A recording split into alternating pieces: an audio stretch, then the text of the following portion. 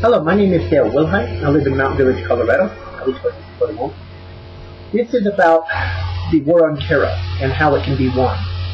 First of all, it will not be won through uh, sending more American troops to the region in Afghanistan.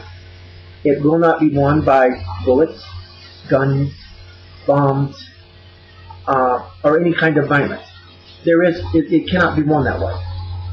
The reason, the only way it can be won is to defeat what Al Qaeda is preaching and to defeat what their their lies, to expose their lies and then defeat it.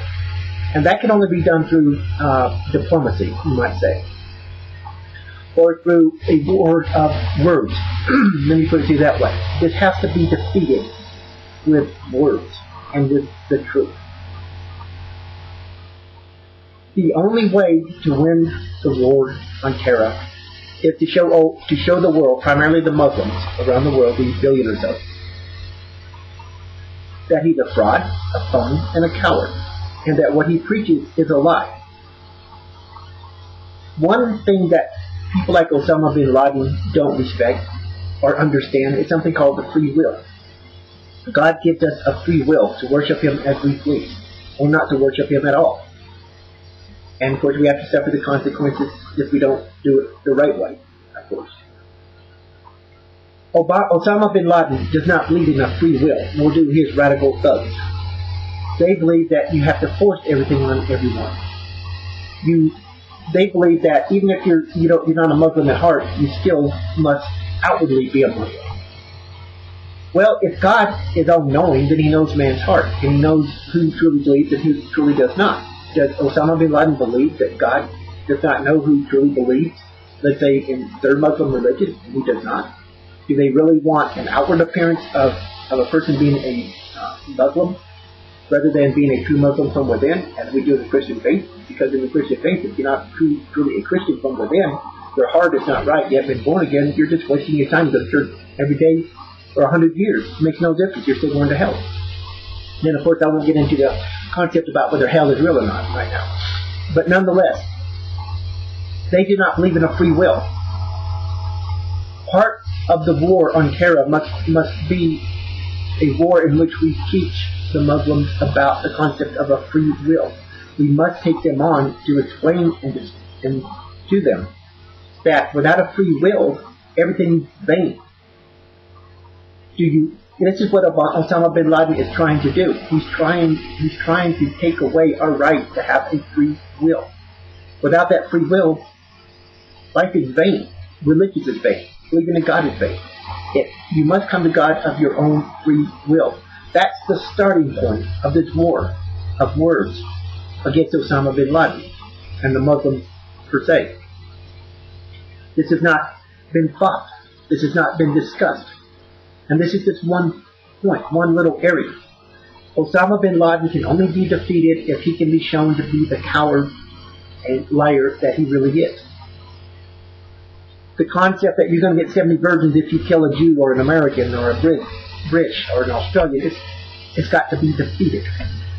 The whole concept of forcing the Muslim religion on the rest of the world must be defeated. And that means, unfortunately, we in America here will have to take on the, uh, the Saudi government and the Saudi religious police and a lot of these people that are uh, preaching this garbage to the rest of the world. We must also defeat the concept that God calls has called upon Osama bin Laden and his thugs, or demons in the flesh, to kill anyone who doesn't believe as they do. Of course, a lot of that came from uh, the Quran, from Muhammad. But does God really need us to kill other people? He might have done that in the Old Testament, but not in the New Testament, not in the modern times. Uh, and where does where do they get that idea that somehow they are ordained by God, I mean, commissioned by God to kill the innocent, to get to what they consider to be the guilty? Who made them masters of life and death? Do you see where I'm going at here? I don't have much time here, so I, I can't go into the entire subject here.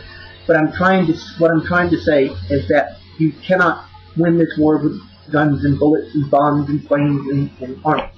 You have to defeat what Osama bin Laden and his thugs have are preaching and teaching, including the Saudi government and the Saudi uh, religious leaders, and prove them and show the rest of the Muslims around the world that they are false. We need to show them that they are they have taken the Muslim religion and turned it in, uh, turned it into a religion of hate and murder. God is not a God of hate. God is a God of love. And what about the Jews? What did God make a mistake? Is he so stupid that he made the Jews so he needs the Muslims to come in and wipe them all off the earth?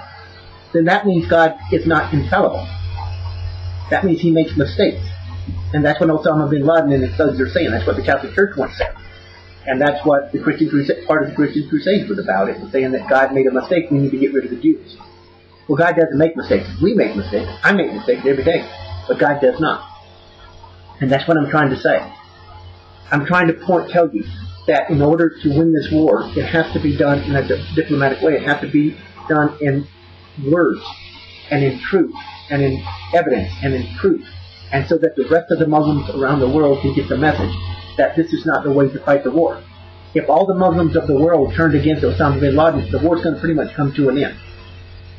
The second part to win the war is very is very simple, and it does involve bullets and guns. Even though I still don't think this is going to win it, all we can do is slow it down, and that is we have to send military force into uh, Pakistan. And Pakistan has sent troops up from the south into Afghanistan and go in there and get into the region where Osama bin Laden and his thugs are hiding and kill them. There's no other way. Or take them hostage or whatever, prisoner or whatever. But that's just going to be temporary. That's still not, that's just not going to win it. So if you look for a military victory, that's about the closest you're going to get. But you're still going to have Al-Qaeda spread out all over the world. So you can't really win it that way. But if you want to get Osama bin Laden, you to go in the region to get them, or you pull the troops home and bring them all home, because it's just a waste of time. We're just letting people die for no reason. And but the only way to really win this war is you have to defeat what they are preaching and teaching. There is no other way. And that's going to take some really good experts, and that's going to take all of the American media, all of the world media coming down and discussing this rationally. But they've got to defeat it this way. And all the Muslims of the world need to hear this message, and they need to be convinced that Osama bin Laden is a liar, a coward, a thief, and a murderer. And he is not of God, he's of Satan. There is no other way to do it. Thank you for your time, and I may have to make a second video to get my message across here. I don't know yet. But you want to win this war, it cannot be done through, through weapons, through violence. It has to be done through the truth.